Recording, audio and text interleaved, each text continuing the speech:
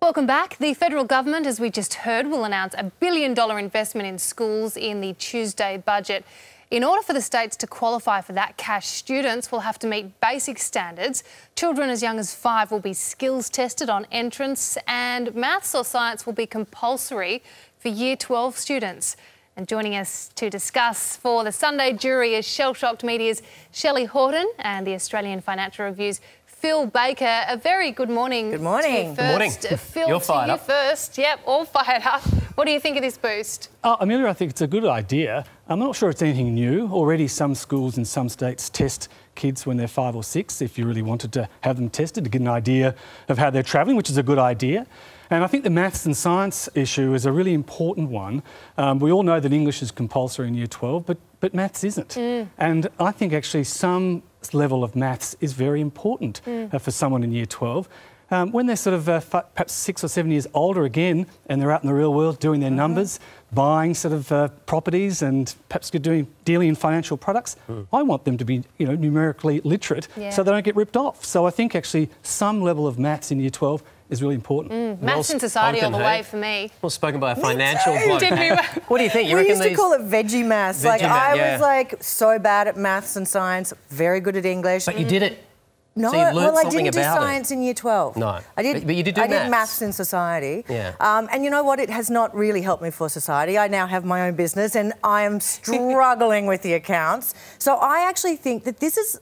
These are life skills. This is actually really important. Mm. It's I love sense. that we're coming back to basics. Let's drop some of the fluff that we have in the curriculum. Let's get back to actually getting people knowing, you know, the the the basics of, of maths and reading and science and things like that. I also think that what we need to do is yes, we need to test these people because my parents are both retired school teachers and they said often they would be pressured to allow students to go through because of, you know, that was the way the system worked. And really, who's that benefiting? Yeah. It's not Yeah. benefiting the kids. I agree. I think we're all in agreement on that one. Uh, moving on, a leading early education academic says preschoolers should be introduced to the subject of same sex marriage. The paper discusses the importance of political activism in the early learning sector. I mean, Shelly, we're talking about kids, you know, daycare, young kids, three, four, five years old.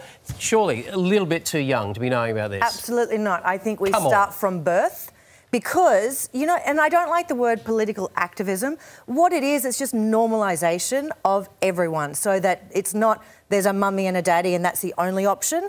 I think that if you just make it, yeah, people are different, people have different options. Don't make a big deal of it.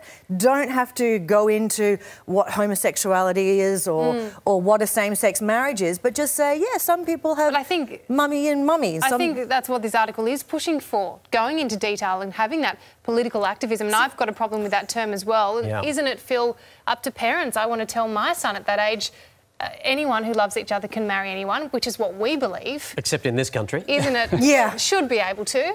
Isn't that what the role of families and parents? Well, all education should start at home in Mm. one way, I think, Amelia. But I, I think uh, age appropriate is, is a good sort of thought here. I think that uh, actually at preschool age, why don't you have the preschool teacher themselves? Uh, specially trained to deal with these sort of issues when and as they arise. So it's not such a big deal if a halfway through term there's a new student who comes into the classroom and there's two mothers that come in or two fathers that come in with that child. And, and this preschool teacher goes no problem. Hello come on in. Welcome to the to this classroom here. And have the preschool teachers teaching um, that respect to everybody. Everybody's a bit different um, and have that sort of concept that Can I everybody just is different. Jump in to disagree? Because I grew up in country Queensland in a very small um, country town called Kingaroy, and we don't we didn't have any mummies and mummies coming into school.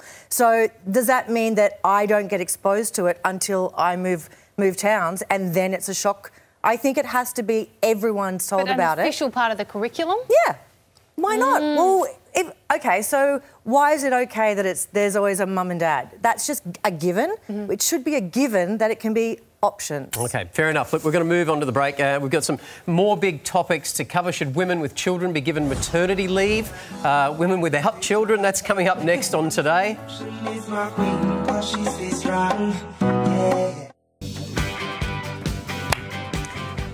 Yeah. Welcome back to the Sunday Jury. An author in the US is facing a firestorm of outrage after she claimed that women without children should be entitled to maternity leave to focus on themselves and their goals. Shelly, she has opened a mm-hmm. can of worms. Over to you. Look, I have been very vocal about being child free by choice. Mm. And you know what? I want to throttle this woman because I have fought and battled against um, other women calling me selfish because I choose not to have children. For this woman to say that maternity is a holiday, that it is a chance to reassess your goals, I've got girlfriends. I've Thank asked them to give me an hour by hour description of their day.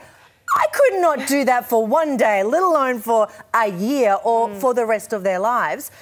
She has already been backing out of interviews. This woman has obviously realised she's made a massive mistake, but I am just furious that this has become putting women against women again. And you know what? The best thing about being child free by choice, if you want to have a break and have a sabbatical, you can. Okay. You don't have to worry about school fees, you don't have to worry about school terms.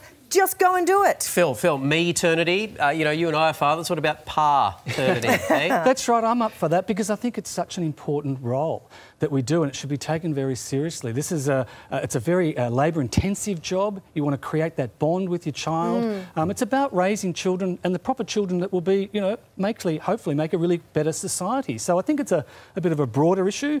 Um, you know, what do we want? A, you know, a whole uh, range of rat bags in mm. 20 years' time It might come back to bite us on the bum, so to speak. So I think it's a really important role that we need to do it properly. All I right, had great lots stuff, of guys. plans for my pregnancy holidays, as I called them, mm. until I went on maternity leave. Whole nother story. Stay Let's with face us. it, kids are intense. Yes. Okay? kids are intense. It ain't no holiday. Thank you both. We'll be back right after this. Stay with us.